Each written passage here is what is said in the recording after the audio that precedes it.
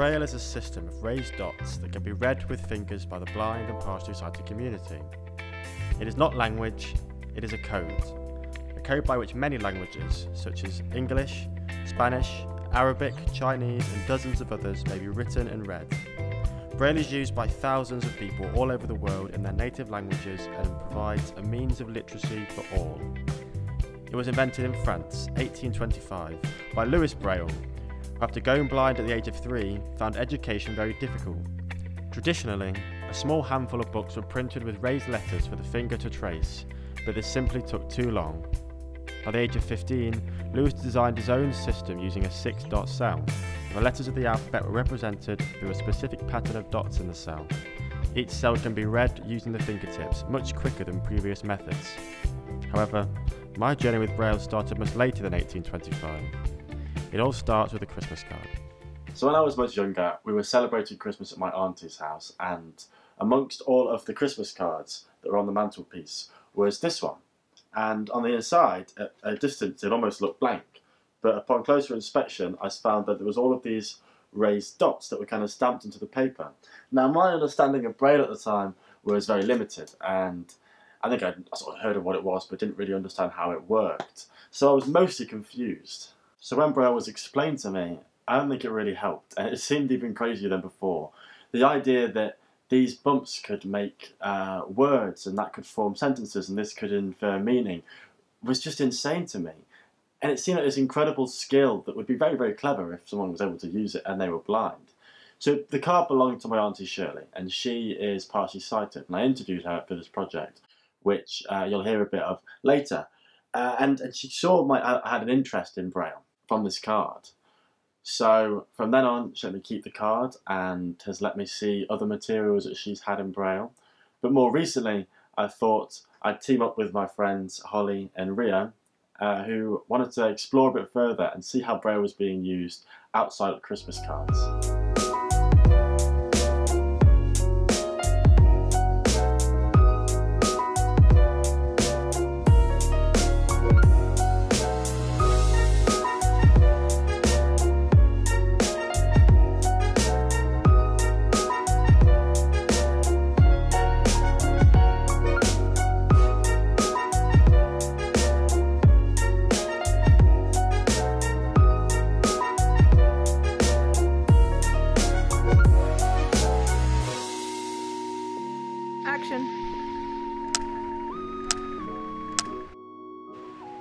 To see just how much Braille we can actually find within the city centre of Nottingham.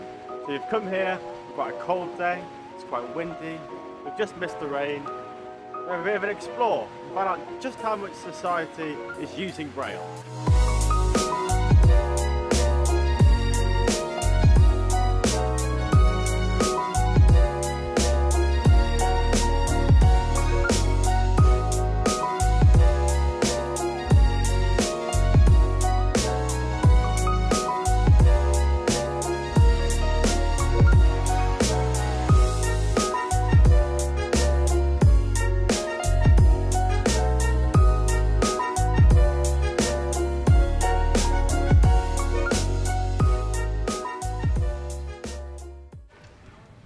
Nottingham now for maybe an hour and we've been looking around a lot of different places in search of Braille and it's been reasonably hit or miss. Um, some places uh, you're always going to find it. I think lifts and, and uh, toilets and, and buses always will, will have it on the stop sign but there's lots of aspects of society, menus, advertisements, simply nothing, we just couldn't find anything.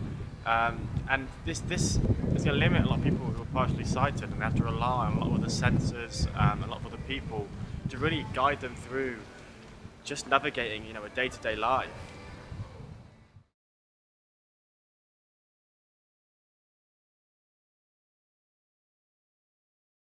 So could you introduce to me who you are? Um, hello, I'm Shirley. I'm um, your auntie.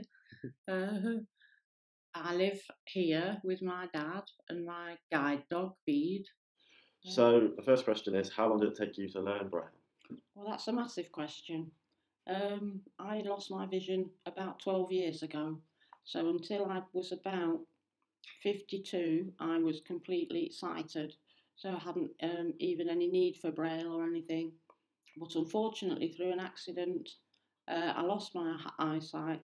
But what happened was um, my blood pressure went shooting through the sky, which we didn't know. I thought I'd just got a really bad headache.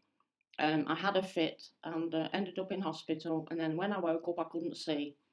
And um, that was my journey then into Braille. After about a year, because it took me about a year to actually come to terms with losing my sight and trying to get out uh, myself, um, I phoned up um, social services who ran a sight impairment team and who came out um, and they knew that the first thing I would want to do was to get out. So I was taught how to use um, Ambutech cane, a white cane. But what happened shortly after that, after about a year, and I got good with my cane, and then I just real I'd always been an avid reader, always read till the back of my eyes were red raw at night time. I just was fascinated um, with the, the written word, and um, the one thing I really wanted to do was to learn to read.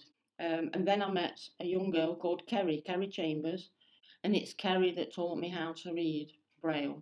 I mean, you talk about waking up and, and not being able to see. That must Yeah. be extremely scary. It was frightening. I, I could never and imagine. yeah, and the thing about it was I was in hospital, um, and actually I was challenged. What do you mean you can't see? Tell me what you can see. And I said, well, how do you describe nothing? I says it's not black, it's not grey. I said there's just an absence of anything. Let's talk a bit about the use of Braille in society. So, do you find it very useful? How often do you think you're using it? Braille is, um, I know you'll, you know, it's a code that you have to crack, and it's a code that it comes easy. People say it comes easy with the end of your fingertips, but that only is so if you've been born blind. If you've not been born blind, you've been using your hands all your life for writing and different things.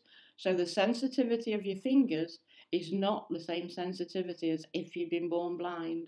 And it took me uh, about a year to be able to just learn to do the first stage of braille because there's two two there's two levels. And it takes an awful lot of paper to write a letter. To overcome this there's what you call braille level 2 and I've not mastered that at all yet. And that is what we, where we use contractions. And dots are placed in similar places with either a dot in the front of it, could be a letter in the front of it, and it actually changes the meaning of that dot.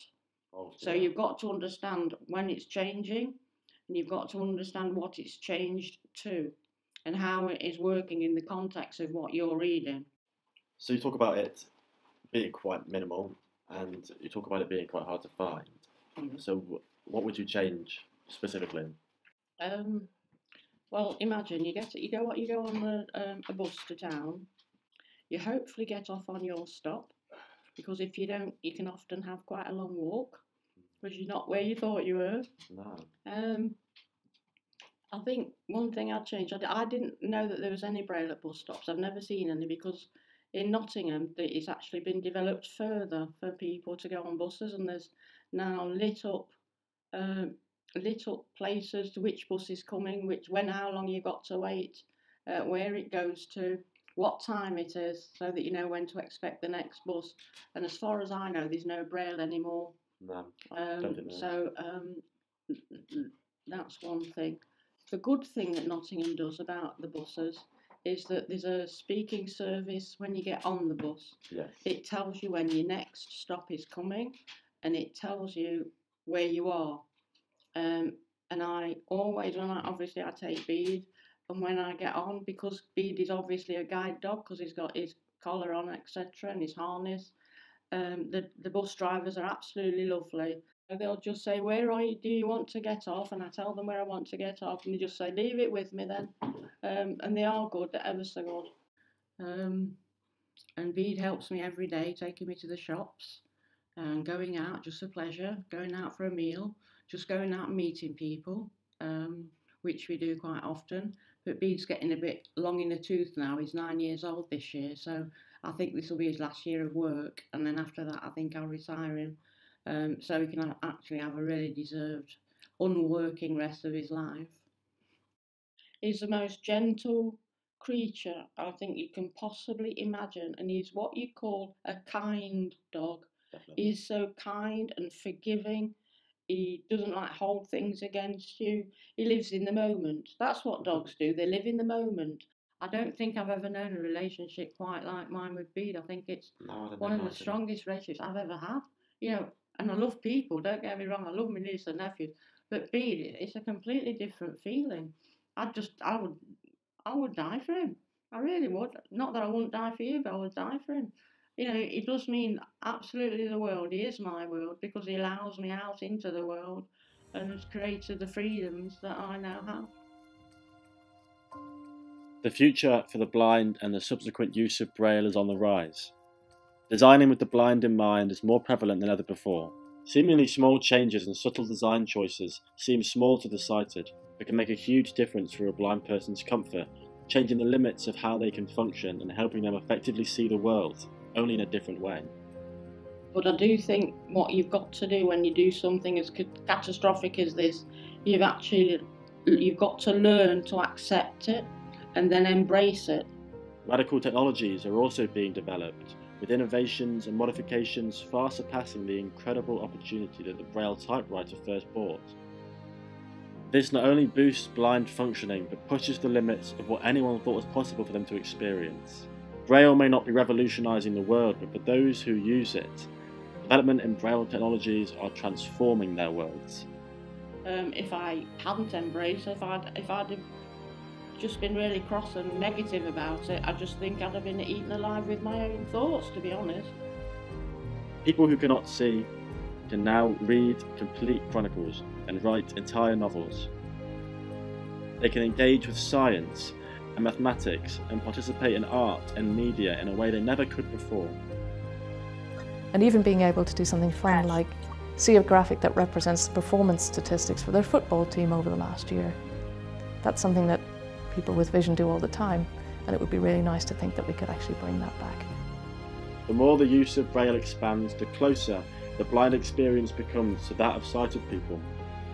I believe Braille is developing into more now than simply reading without seeing, and has become a whole new world of sight of its own.